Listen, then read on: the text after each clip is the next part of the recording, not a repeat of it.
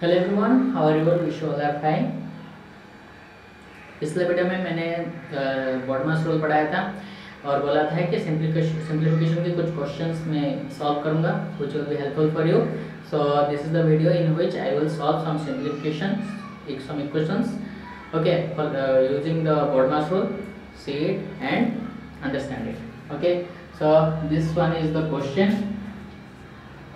So how many brackets are here three brackets simple bracket curly bracket and square bracket and addition and subtraction is there so i have told you first see if bracket is there yes there are three brackets पहले देखो bracket है क्या yes हाँ है तीन bracket है तो पहले कौन सा ब्रैकेट खोलेंगे बाहर वाला या उससे अंदर या उससे अंदर पहले खोलेंगे सबसे अंदर कौन सा ब्रैकेट है उस ब्रैकेट को खोलेंगे ठीक है सो so, जो है उसको पहले लिखना है thirty seven minus five plus twenty eight लिख दिया?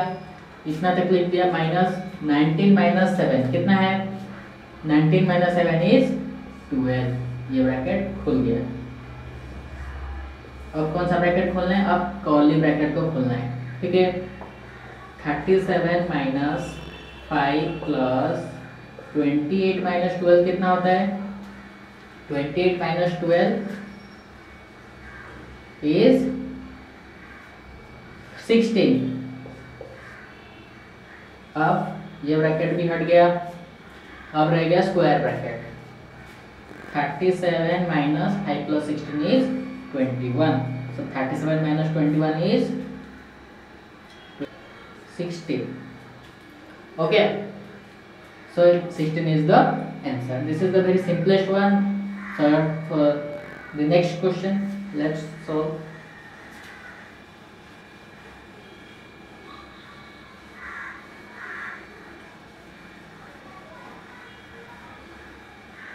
So your next question is the first open the this bracket. I have told you three brackets simple bracket curly bracket and square bracket. But this one is first bracket that is bar bracket. I have not told you.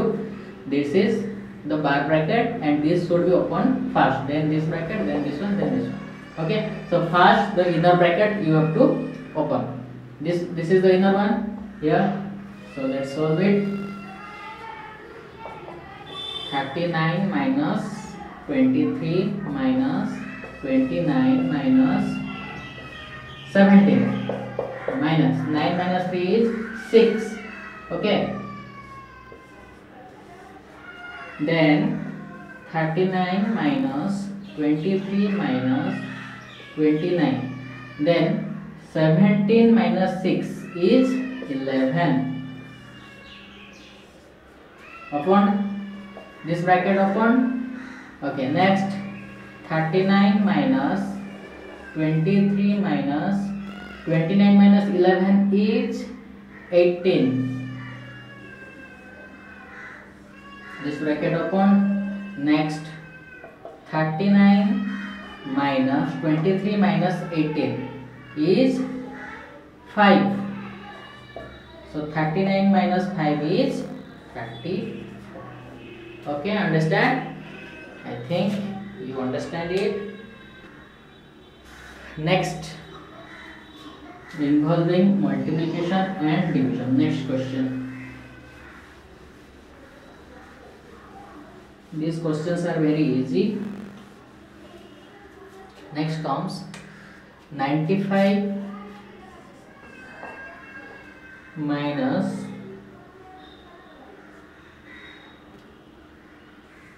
144 next divided by 12 into 12 next minus of minus 4 minus minus 3 sorry 3 minus 17 minus 10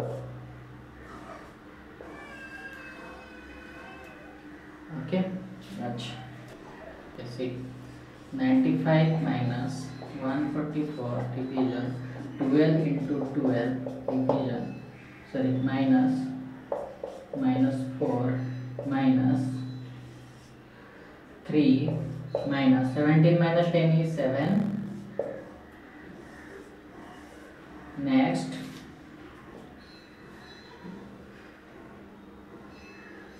Ninety-five minus one forty-four division one into twelve one forty-four okay and minus of minus is plus four minus and this three minus seven is minus four so minus four ये plus minus plus four हो गया okay next 144 divided by 144 अच्छा ये bracket में सबसे पहले कौन solve होगा ये वाला सॉल्व होगा क्यों? क्योंकि ये डिवीज़न दिया है। 144 by 144 is 1 so 95 minus 1 plus 4 plus 4 okay next 95 minus 1 plus 4 plus 4 कितना हुआ? 9 हो गया। तो 95 minus 9 is 6 95 minus 9 is 86 hope hope you understand it? Okay. Next problem is word problems. Simplification लिखा होगा सेंटेंस में। उसको तुम्हें कन्वर्ट करना होगा नंबर्स में, उसके बाद सॉल्व करना है। Like multiply the sum of 13 and 9 with their difference okay question दिया होगा। Multiply the sum of 13 and 9 with their difference so क्या करना है हमें? फ़र्स्ट क्या बोला है? मल्टीप्लाई करना है। क्या करना है?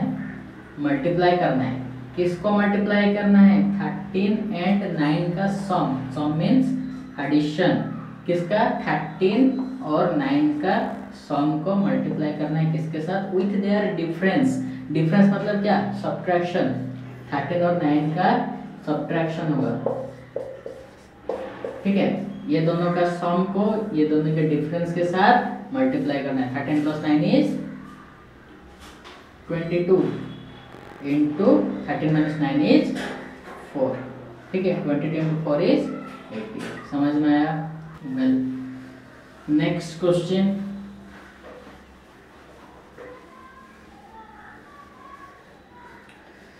subtract 398 from 784 398 को 784 से माइनस करना है। फ्रॉम जहाँ पे जिसके पास लिखा होगा, उसको पहले लिखना होता है। इसके किसके पास?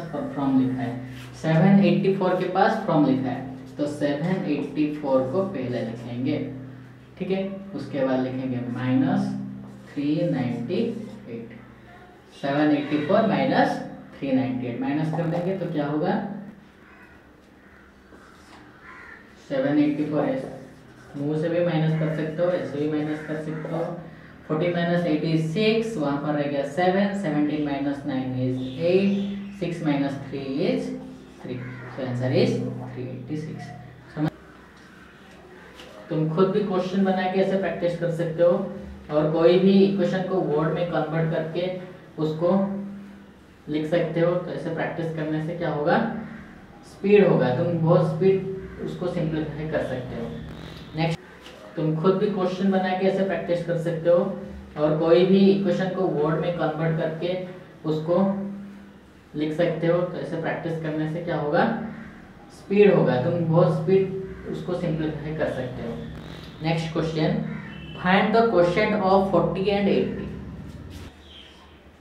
find the question of 40 and eight okay 40 and eight का क्वेश्चन निकालना है। क्वेश्चन किसका निकलता है? जब हम डिविजन करते हैं, तब तो क्वेश्चन निकलता है। तो मतलब ये दोनों को डिवाइड करना है। Forty divided by eight equal to five okay कुछ टर्म्स है जिसको पता होना चाहिए, उस जिसके बाद ही तुम्हें पता चलेगा कि क्या करना है, ठीक है?